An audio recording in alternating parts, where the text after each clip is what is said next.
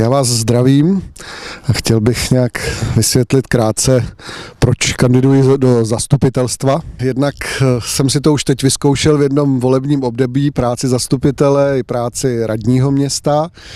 a mm, vidím to jako něco, kde, že jsem bych odcházel od rozdělané práce, takže v něčem chci v tom pokračovat. A zároveň, co je pro mě důležité, že pracuji v rámci jednoty bratrské eh,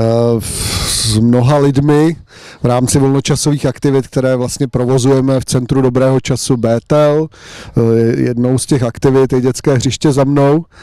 a eh, potkáváme se týdně zhruba 250-300 lidmi různých, různých generací a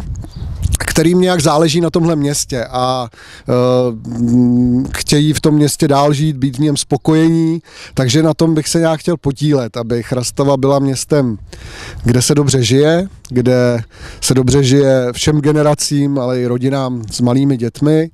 kde městem, které je otevřené pro uh, dobré věci, podněty, které si nechá rádo pomoct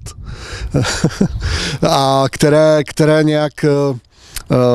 samozřejmě řeší, aby pěkně vypadalo, co se týče po té eh, stavební stránce, kde se opravuje a tak dál, ale zároveň, které si uvědomuje, že důležité eh, jsou mezilidské vztahy, důležité je ten život té komunity městské, eh, kde, kde lidi si tolik nezávidí, ale na, naopak podporují dobré věci, takže na tom bych se nějak chtěl podílet. Moc se mi líbí každá organizace, která, kde ti, kde lidé pracují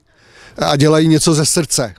Jo, kde, kde je vidět eh, opravdový zájem o věci, práce s dětmi, se seniory a na tom to bych chtěl podporovat, na tom bych se chtěl podílet a jakoby velkou praxí v tom je práce v jednotě bratrské. Takže děkuji za pozornost.